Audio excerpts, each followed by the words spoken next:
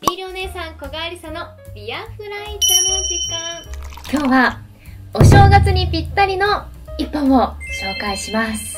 今回紹介するのはスペインのビールで世界で一番予約が取れないと言われているレストランの料理長が考えたビールです。それがこちらです。イネディットっていうビールですこの星マークと赤いラベルが目印です。これはビール界のドンペリとも言われている高級な特別なビールです。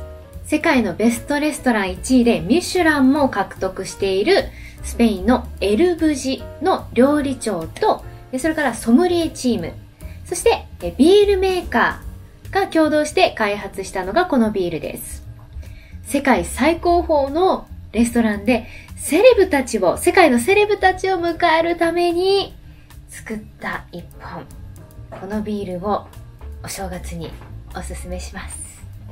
ではついていきましょうか。グラスは普通のビールグラスよりもこういったシャンパングラス。こういうグラスがおすすめと書いてありました。セレビを迎えるのにお客様をお迎えするのにワインはあるけどビールってないよなということでこのビールが作られたんだそうです。美しく見えるために半分以上は継がない方がいいというふうに公式ホームページに書いてありました。おっと次々か？すっごい泡がめちゃめちゃきめ細かいですね。滑らかな泡。泡立ちがすごくいい。すごい美しい。そしてちょっと濁りがありますね。これは小麦も入っているんですよね。だからかなちょっと濁りのある色合いをしていますね。香りを。あえん？何？これお花？すごい華やかな香りがする。お花みたいな華やかさもあるしフレッシュなフルーツ？果実感もありますね。シャンパンとかワインみたいな感じもする。すごく華やかでいい香りがします。明けましておめでとうはまだ早いな。では今日も一日お疲れ様でした。良いお年を。乾杯。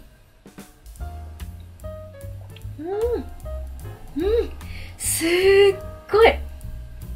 わ甘くて華やかな香りが鼻からふわっと抜けていきました。軽くて飲みやすいですね。苦味はほとんどないです。柔らかなほんのり酸味があってであとは軽やかな小麦特有の甘みっていうのを感じられます。あすごい軽い感じなのでお料理とかにも合わせやすそうですね。このビールは魚介類とかが合うとのことだったので前菜とかサラダとかマリネとか魚介に合うビールなんだそうです。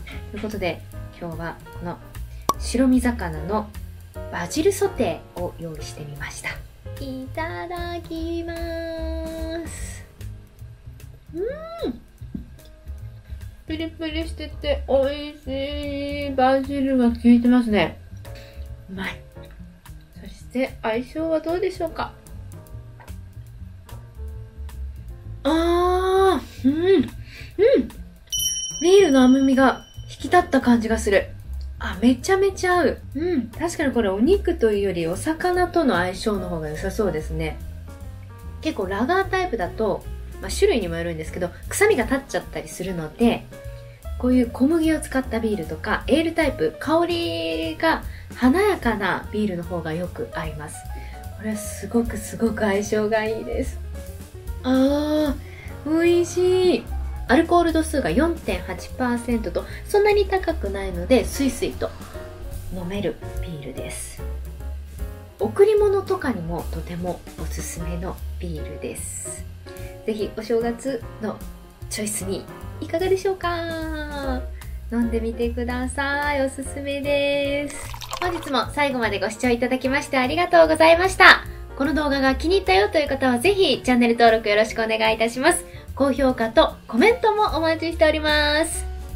皆さんは毎年どんなお正月を過ごしていますか？教えてください。では、また次の動画でお会いしましょう。バイバーイ。